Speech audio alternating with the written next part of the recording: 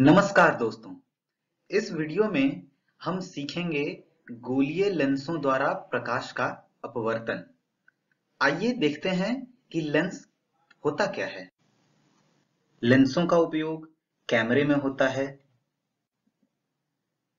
चश्मों में भी लेंसों का ही प्रयोग किया जाता है। यह गोलीय लेंस हैं, चाहे तो अवतल या फिर उत्तल। सूक्ष्मदर्शी भी एक लेंस है। यहाँ तक कि अब चश्मों के विकल्प के रूप में कॉन्टेक्ट लेंसेस का भी उपयोग किया जाता है और ये कॉन्टेक्ट लेंसेस लेंसेस अर्थात ये गोलीय लेंस भी उपयोग होते हैं। आधुनिक बंदूकों में भी दूर निशाना लगाने के लिए लेंसों का उपयोग किया जाता है। तो ये सारे उपयोग जो हमने लेंसों के देखे ये बतलाते हैं कि लेंस हमारी दिनचर्या का एक अभिन्न हिस्सा बन चुके हैं। आइए अब सीखते हैं कि लेंस होते कितने प्रकार के हैं। एक उत्तल लेंस और दूसरा अवतल लेंस। इसके अलावा भी लेंसों के प्रकार हैं, पर ये दो मुख्य लेंस हैं दोस्तों। उत्तल लेंस कुछ ऐसा दिखता है और अवतल लेंस ऐसा। इन दोनों लेंसों को एक अलग दृष्टिकोण से देखा जा सकता है। और वो दृष्टिकोण ये है कि अगर हम उत्तल लेंस लें तो उत्तल लेंस को दो अलग अलग लेंसों के योग के रूप में देखा जा सकता है। अर्थात, अगर मैं इसे बीच से बांटना चाहूँ तो बीच से हम इसे तोड़ देते हैं। तो ये उत्तल लेंस दो अलग अलग लेंसों का एक संयोग होगा। जब इन दोनों को हम जोड़ देंगे तो एक उत्तल लेंस बनता है। और उसी तरह अवतल लेंस को भी जब हम बीच से काट देंगे तो वो कुछ ऐसा दिखेगा।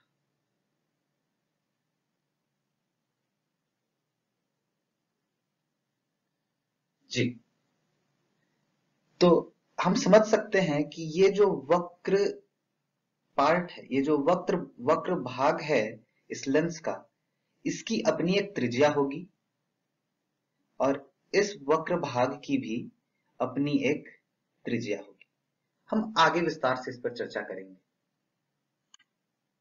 आइए अब उत्तल लेंस को समझने की कोशिश करते हैं। इस लकीर पर बने दो बिंदु C1 और C2 यह बतला रहे हैं कि ये C1 इस वक्र भाग का केंद्र है, वक्रता केंद्र जिसे हम कहते थे।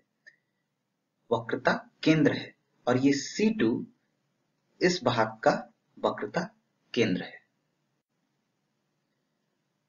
इन दोनों C1 और C2 को मिलाने वाली रेखा को हम मुख्य अक्ष कहते हैं।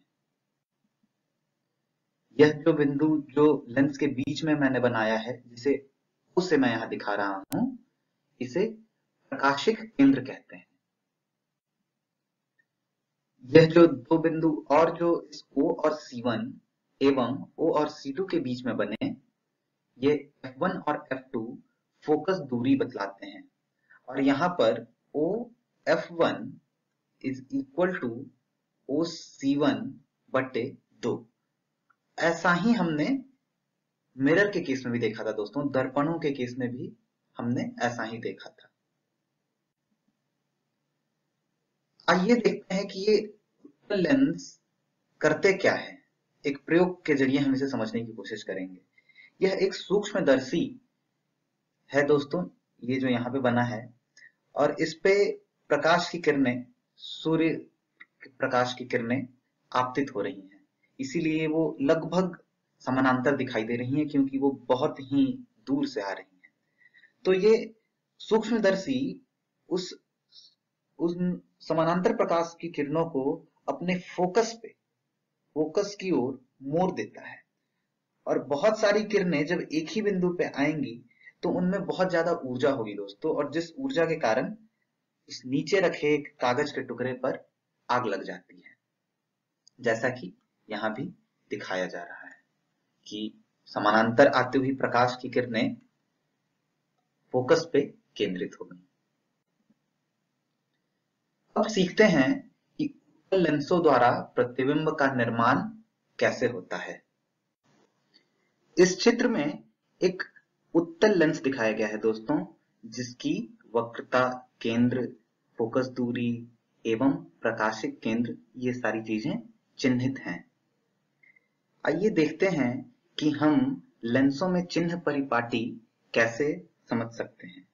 तो जैसा कि मैंने आपको दर्पणों के संदर्भ में भी बताया था कि पहले हम मानते हैं कि प्रकाश किस दिशा से आ रही है। तो यहाँ मैंने माना है कि प्रकाश जो है, वो इस दिशा से और जिस दिशा में मैंने इस तीर के निशान को बनाया है, प्रकाश उस दिशा से इस लेंस के ऊपर आ रही है। तब उसी तरीके से जैसे हमने दर्पणों में चिन्ह परिपाटी लगाई थी, यहाँ लगाएँगे। इस फोकस को, इस फोकस दूरी को हम लोग एफ़ से दिखा रहे हैं, एवं इस फोकस दूरी को हम लोग माइनस एफ़ से दिखाएँगे। क्यों? क्योंकि इस फोकस दूरी को नापने के लिए हम जब ओ से शुरू करेंगे, हर दूरी केंद्र से नापी जाती है पोल से नापी जाती है हर दूरी, दोस्तों। तो ये जो प्रकाशिक केंद्र है, जिसे हम पोल कह रहे हैं जब हम यहाँ से F1 पे आने की कोशिश करेंगे तो हमें प्रकाश के विपरीत दिशा में चलना होगा। तो जब भी कोई दूरी प्रकाश की चाल के विपरीत दिशा में नापी जाती है तो उसे हम निगेटिव साइन से दिखाते हैं। जबकि अगर हमें इस फोकस दूरी को ओ एफ़ टू जो फोकस दूरी है, इसको लिखना होगा तो जब हम ओ से चलना शुरू करेंगे एफ़ टू तक, तब हम उसी दिशा में जा रहे हैं, जिस दिशा में प्रकाश भी गमन कर रही है।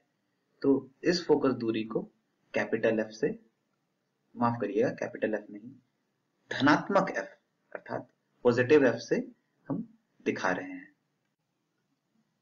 यहाँ पर दोस्तों मैंने दोनों फोकस दूरी को, दोनों अर्थात इस फोकस दूरी को और इस फोकस दूरी का द्रव्यमान एफ़ ही लिया है।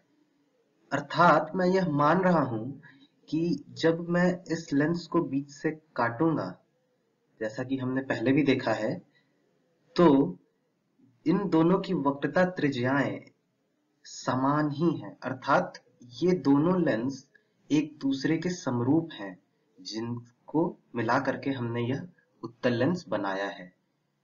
ऐसा भी हो सकता है दोस्तों कि जब दो अलग अलग लेंसों को मिलाया गया तो उनकी वक्रता त्रिज्याएँ अलग अलग हो। वक्रता त्रिज्याएँ अलग अलग होने से क्या होगा? दोनों की फोकस दूरी भी अलग अलग हो जाएगी। जैसा कि इधर का अगर ये f2 है तो इधर का जो दूरी है, इधर की जो दूरी मिलेगी हमें, वो हमें मिलेगी अलग, जिसको स्मॉल f2 से मैं दिखा रहा हूँ, और इस वाले भाग का जो फोकस दूरी है, वो हमें मिलेगा F1 जो कि F2 से अलग है। तो F, इस केस में दोस्तों, यहाँ पर F1 not equal to F2 अर्थात F1 F2 के बराबर नहीं है। पर हमें इस तरह के केस के बारे में अभी नहीं पढ़ना है। हम अभी चर्चा करेंगे वैसे ही लेंसों के बारे में, जिसकी दोनों वक्रता त्रिज्याएँ बराबर हों। आइए अब एक वस्तु का प्रतिबिंब बनाने की कोशिश करते हैं उत्तल लेंस के ज़रिए। तो हम ऐसा मान रहे हैं कि वस्तु इसके वक्रता केंद्र और फोकस के बीच में है, यहाँ पर, जिसे मैं ए बी से दिखा रहा हूँ। जैसा कि हम जानते हैं कि इससे बहुत सारी प्रकाश की किरणें निकल रही होंगी, पर हमें बस दो प्रकाश की किरणों की ज़रूरत है। एक जो इसके समानांतर जाए मैं दूसरा रंग यूज़ कर लेता हूँ। एक जो इसके समानांतर जाए और हम जा, जानते हैं कि हर समानांतर प्रकाश की किरण हमेशा उसके फोकस से होके जाती है दोस्तों। तो ये फोकस की ओर मुड़ गई। तो ये पहली किरण जो समानांतर जा रही थी वो फोकस की ओर मुड़ गई। और दूसरी किरण दूसरी किरण को मैं यहाँ लाल रंग से दिखाने की कोशिश करता हूँ। दूसरी किरण हम दोस्तों इसके प्रकाशिक केंद्र से होकर गुजारेंगे। तो जो भी प्रकाश की किरण प्रकाशिक केंद्र से होकर गुजरती है, वो सीधी सरल रेखा में गमन करती रहती है। तो इस तरह से ये दोनों रे, दोनों किरणें यहाँ पर मिलेंगी, जिससे हम प्रतिबिंब के निर्माण की जगह के रूप में देख सकते हैं। तो ये ए डैश और ये बी डैश तो जैसा कि हम देख रहे हैं दोस्तों कि प्रतिबिंब उल्टा बना है, पर वास्तविक बना है। जब, कब, जब वस्तु को वक्रता केंद्र और फोकस के बीच में रखा जाता है। तो ये चीज़ें याद रखनी है कि हमें बस दो किरणें लेनी है, एक जो उसके पोल से होके जाए प्रकाशिक केंद्र से होके जाए, जो सीधी निकल जाएगी, और दूसरा समानांतर जाने वाली प्रकाश की किरण लेंस से गुजरने के बाद फोकस की ओर मुड़ जाती है। आइए एक और उदाहरण से इसे समझते हैं। इस बार मैं वस्तु को फोकस और पोल के बीच में रखता हूँ, अर्थात यहाँ। इसका नाम हम ए बी देते हैं। जैसा कि हमें पता है, इन बहुत सारी प्रकाश की किरणों से हमें बस दो प्रकाश की किरणें चाहिए और वो एक प्रकाश की किरण जो समानांतर जाए। समानांतर जाती हुई प्रकाश की किरण हमेशा उसके फोकस से होती हुई गुजरेगी और दूसरी प्रकाश की किरण जिसे मैं फिर से लाल रंग से दिखा रहा हूँ, जो कि उसके प्रकाशिक केंद्र, अर्थात पोल। पोल से होकर गुजरेगी, पर सीधी जाएगी। तो ऐसा प्रतीत होता है दोस्तों कि ये दोनों रेखाएँ, ये दोनों किरणें आपस में कभी नहीं मिलेंगी। तो दर्पणों में भी हम ऐसा किया करते थे, दोनों किरणों को विपरीत दिशा में आगे की ओर बढ़ाइए। आगे की ओर बढ़ाने के बाद आपको पता चलेगा कि दोनों कटती हुई प्रतीत हो रही है। और जहाँ दोनों का कटान बिंदु है, वहाँ पे आप माफ़ करिएगा, मेरे चित्र बनाने की कला मुझमें थोड़ी कम है। तो जहाँ पे दोनों का कटान बिंदु है, वहाँ पे प्रतिबिंब का निर्माण होगा ए डैश बी डैश ये प्रतिबिंब काल्पनिक है दोस्तों। क्यों? क्योंकि ये वास्तविक किरणों के कटने से नहीं बना। वास्तविक किरणों के मिलने से नहीं बना है। ये हम आभासी रूप से किरणों को मिला रहे हैं। पर यह प्रतिबिंब सीधा है। और ये प्रतिबिंब आपको कब दिखेगा?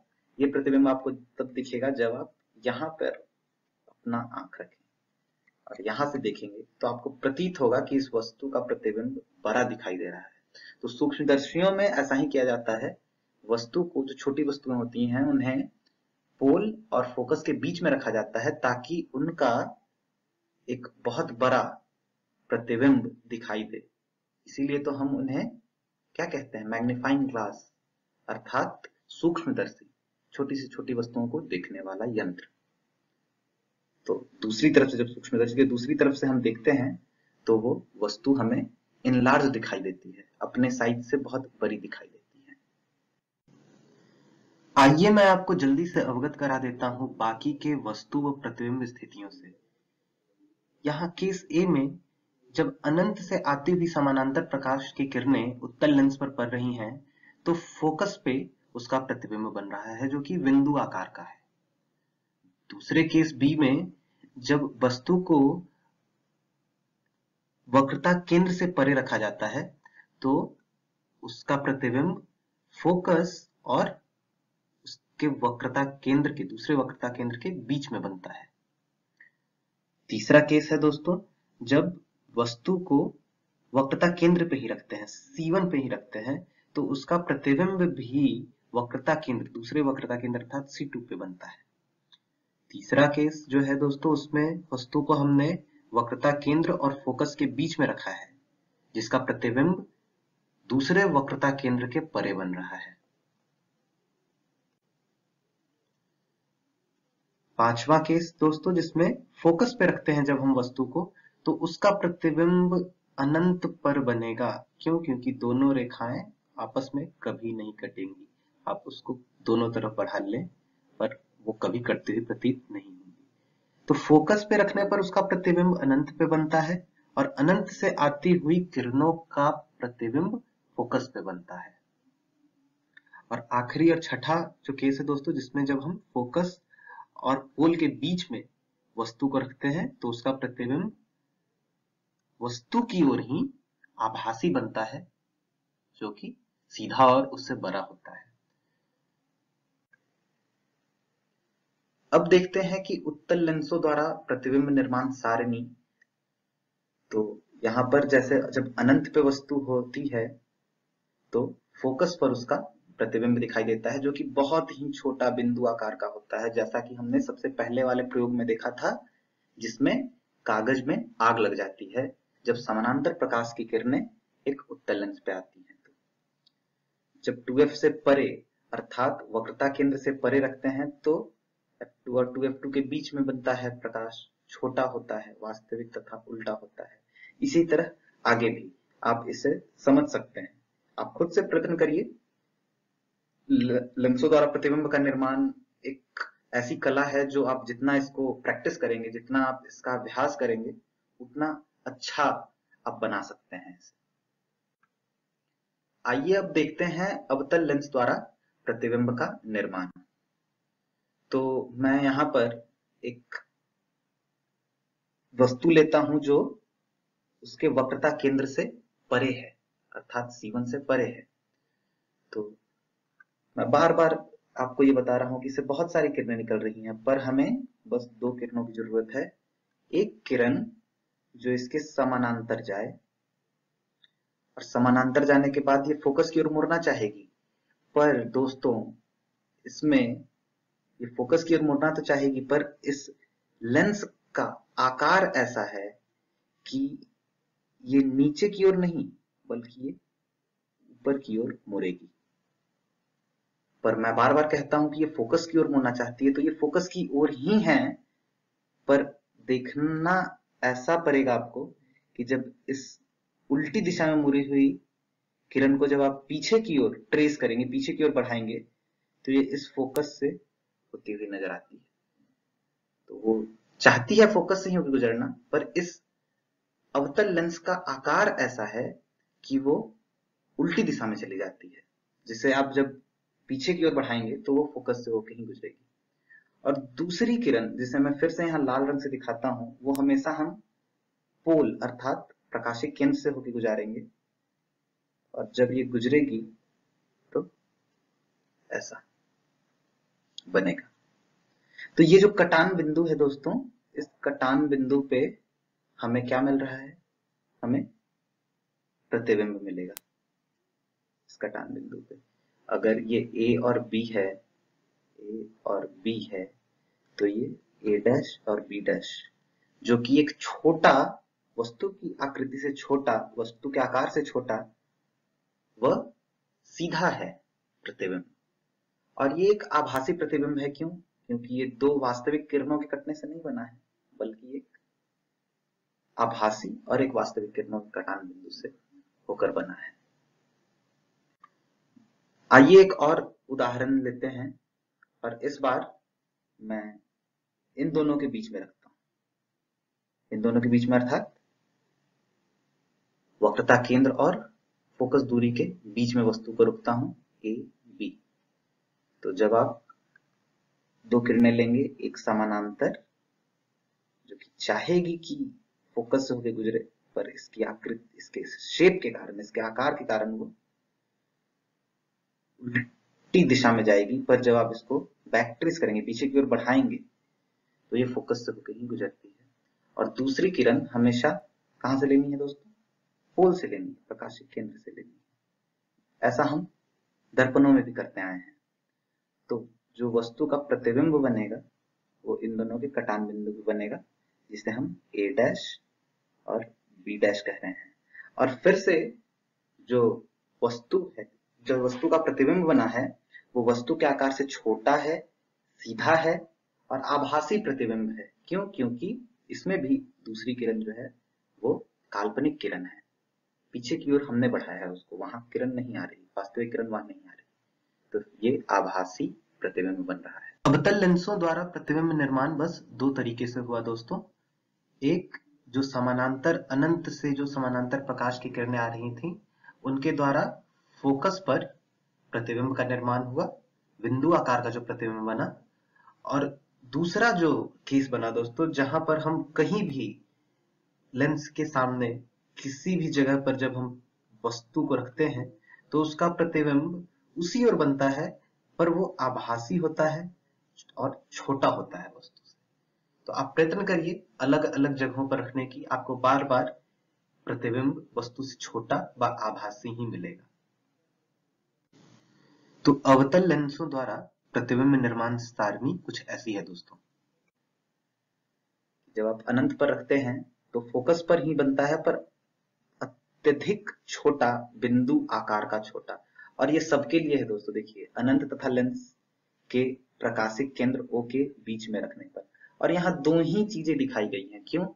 क्योंकि आप जब अनंत से बाहर कभी भी रखते हैं तो जो दूसरी किरण होती है, वो हमेशा आभासी किरण को काटती है ऐसा कि वो प्रतिबिंब फोकस F1 तथा प्रकाशिक केंद्र O के बीच में ही बने। तो ये खासियत है अवतल लेंस की। और हर केस में आभासी तथा सीधा, आभासी तथा सीधा प्रतिबिंब ही आपको मिलेगा। आप खुद प्रयत्न करिए, आप समझ जाएँगे। आइए अब देखते हैं लेंस सूत्र क्या है। जैसे हमने दर्पणों में दर्पण सूत्र पढ़ा था, उसी तरह लेंस सूत्र भी हमें पढ़ना है दोस्तों। ये बहुत ही महत्वपूर्ण टॉपिक है, ये बहुत ही महत्वपूर्ण भाग है इस पूरे अभ्यास का जो हम यहाँ कर रहे हैं। तो लेंस सूत्र कहता है one by V minus one by U is equal to one by F. दर्पण सूत्र में ये माइनस जो ऋण, ऋणात्मक चिन्ह जो है वो धनात्मक था। यहाँ पर लेंस सूत्र में यह ऋणात्मक है। तो one by V minus one by U is equal to one by F, जहाँ भी प्रतिबिंब की दूरी है, यू वस्तु की दूरी है और एफ़ फोकस दूरी है। ये दूरी जब भी मैं कहता हूँ दोस्तों तो दूरी कहाँ से? दूरी पोल से। प्रकाशिक केंद्र से। दूसरा महत्वपूर्ण सूत्र जो हम देखने वाले हैं वो है आवर्धन का। आवर्धन जिसे स्मॉल एम से भी लिखते हैं H dash upon H H dash प्रतिबिंब की हाइट है, प्रतिबिंब की ऊंचाई है, जबकि एच वस्तु की ऊंचाई है। और आवर्धन भी बाय यू भी होता है दोस्तों, जहाँ भी वस्तु की दूरी नहीं, बल्कि प्रतिबिंब की दूरी है पोल से और यू वस्तु की दूरी है पोल से।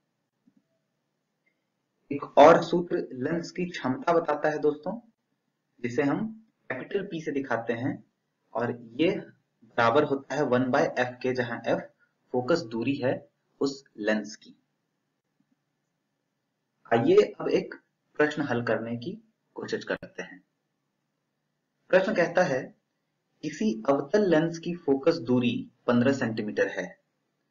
बिंब को, बिंब अर्थात वस्तु को लेंस से कितनी दूरी पर रखें कि इसके द्वारा बिंब का लेंस से 10 सेंटीमीटर दूरी पर प्रतिबिंब बने। लेंस द्वारा उत्पन्न आवर्धन भी ज्ञात कीजिए। तो देखते हैं हम कैसे इस प्रश्न को बना सकते हैं।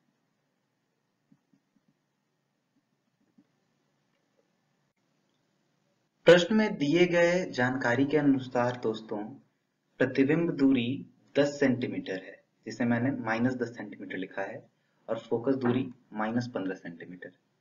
ऋणात्मक चिन्ह मैं लगा रहा हूँ, क्यों? क्योंकि यह एक अवतल लेंस है। अवतल लेंस द्वारा सदैव ही आभासी, सीधा प्रतिबिंब उसी ओर बनता है जिस ओर बिंब रखा होता है, अर्थात जिस ओर वस्तु रखी होती है। तो अगर आप भूल गए हों तो एक बार मैं आपको फिर से यहाँ पर बनाकर दिखाने की कोशिश करता हूँ कि ये अवतल लेंस था और अवतल लेंस में वस्तु अगर यहाँ है तो वस्तु का बिंब भी इसी दिशा में यहाँ पर बनता था। तो जो प्रतिबिंब की दूरी होगी, वो ऋणात्मक होगी। क्यों? क्योंकि वो क्योंकि वो किरण के चाल के विपरीत दिशा में नापी गई दूरी है पोल से। तो प्रतिबिंब की दूरी मैंने ऋणात्मक ली है और फोकस दूरी फोकस इस फोकस की हम लोग अभी बात कर रहे हैं। तो ये फोकस दूरी भी ऋणात्मक है, जो कि 15 सेंटीमीटर दी हुई है। हमें बिंब दूरी निकालनी है, u हमें पता है कि लेंथ या फिर लेंथ सूत्र one by V minus one by U is equal to one by F होता है। इसे हम इस तरीके से भी लिख सकते हैं, one by U equal to one by V minus one by F.